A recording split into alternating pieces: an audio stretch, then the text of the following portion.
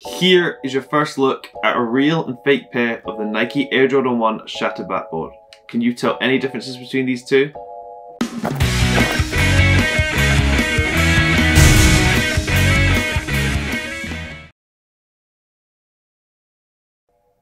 Hello and welcome back to the channel. Today I have another comparison video for you and it's probably one of the biggest ones that I've ever had on my channel. It's between two pairs of the Nike Air Jordan 1 Shattered Backboard. But before we get to this video, I'd like to give a big shout out to today's sponsor.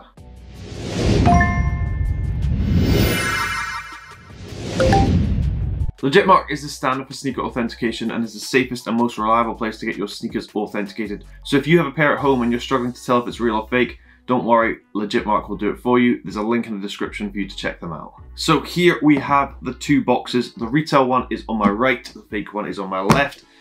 It's taken me a while to get this in my collection and now I finally have it. The retail one was purchased from a reseller all the way across in Australia. took so long to arrive, but they're finally here. And then I have the fake one here to do the comparison for you. And this authentication is to help you if you're trying to buy the retail pair. So in terms of the box themselves, the retail one is actually a lot more damaged than the fake one. That's mainly because this is a very old shoe and it just hasn't been kept in perfect condition. But you can't really complain about that because for the age, the box is in very good condition indeed. So I'd actually like to shout out the Instagram account that I purchased these from because the transaction was so smooth, everything went perfectly fine. So his Instagram handle is right here. You can check out any of the shoes that he has. So in terms of the box themselves, can't really do a color difference between the two just because this one has aged over time. What I would say is the black slightly darker on the fake pair and the red is slightly brighter on the fake pair, but this can't really be compared just because of the aging of the box. So we'll take a closer look at the labels themselves. So if you look at the labels, once again, the fake one is based on a US label, so obviously has the US price tag, whereas the retail one was purchased in Australia, so doesn't have this price tag on the side. However, if you look at the text all over the label, you can see differences in font size and positioning across the label itself. But these are just the minor differences to look for on the box themselves. However, we'll open them up, take a look at the shoes, because nobody wants me to talk about the boxes for the whole video. So we'll start with the fake one, lift off the lid. As you can see, the shoes are completely exposed. There's no paper covering the shoes, it's just flat on the bottom of the box. And if I show you the retail one, the paper is covering the shoes. The paper itself is actually completely broken, however, and the shoes lie underneath. Here is your first look at a real and fake pair of the Nike Air Jordan 1 Shattered Backboard. Can you tell any differences between these two? So here we have the two pairs and I'll just be going into the differences of what to look for if you're trying to purchase the retail pair. So the first difference I'm going to point out actually comes with the accessories on the shoe.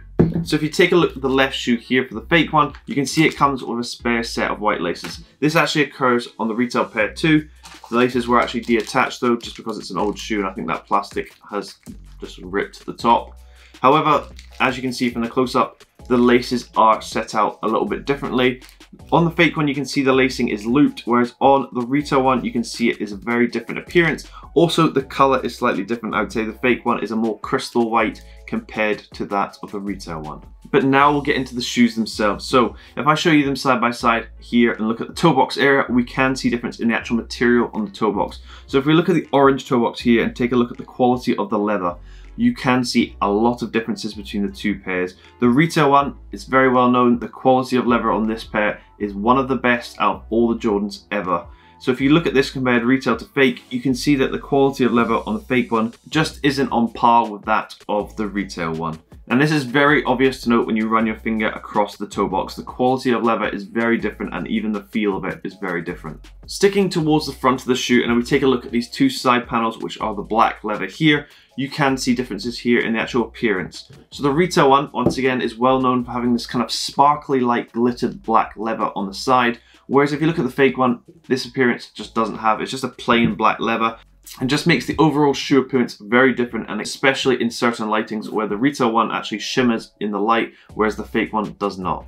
Spinning the shoe around to the back and taking a look at that hourglass shape, even though this pair is incredibly old, it is dead stock and you can see that that hourglass shape between the retail and fake is very different. The fake ones never seem to get this hourglass shape correct, whereas the retail one has that perfect hourglass shape on the back.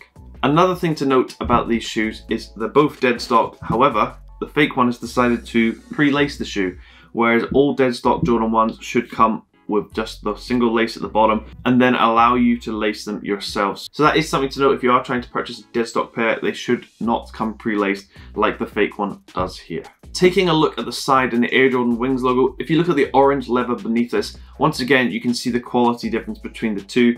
You can see on the retail one how soft and high quality that leather is. You can see the creasing underneath the Wings logo. Whereas if you look at the fake one, it just doesn't have the same appearance. Also, the color is slightly darker than it is on the retail This is easy to note when you're looking at the back of the shoe. If you look at the back of the shoe in certain lightings, you can see that the orange on the retail pair is a much lighter orange compared to the fake one. Spinning the shoe back around to the front and taking a look at the Nike Air tag on the tongue, we can see differences here again in terms of the actual color. The Nike Air symbol on the retail one is a lighter orange than it is on the fake one. And also if you take a look underneath, the same color and text where it says made in China is different from retail to fake. Taking a look at the underside of the shoe and looking at the sole color, there is slight differences once again. The retail one being a lighter orange than the fake one. They just don't seem to have the color of the orange absolutely spot on, which is kind of strange seeing as this shoe has been out for a while and they have had a chance to perfect it.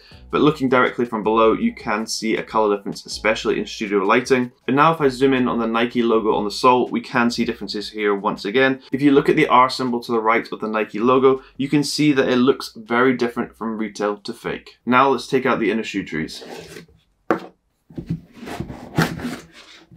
So if we compare these side by side, we can see difference between the retail and fake. On the retail one, you can see the symbols actually stick outwards on the cardboard shoe tree, whereas on the fake one, they are indented. So there's a clear difference between the retail and fake here. And if we spin them upside down, we can see that on the fake one it says die cut sock liner, whereas on the retail one, this actually doesn't occur on this pair. So as you can see from this video, from afar, these might fool quite a lot of people, but from up close, there are differences you can look for if you are trying to authenticate your pair. The telltale signs to look for is the actual quality of the leather because the retail pair is such high quality and the actual feel of them is very different to the fake one.